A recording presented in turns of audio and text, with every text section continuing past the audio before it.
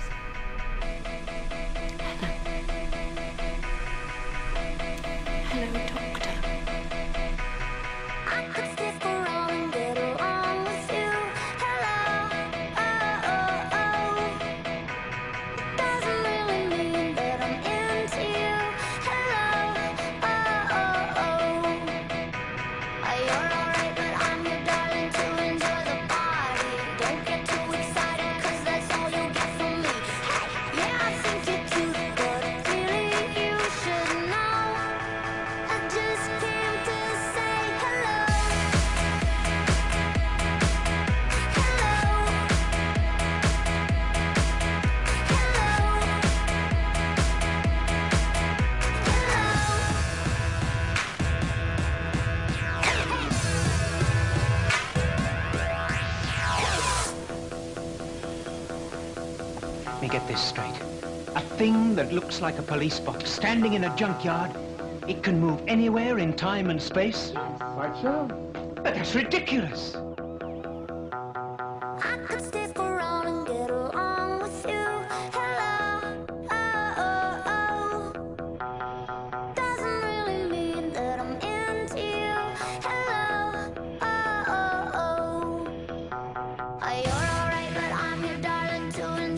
Bye.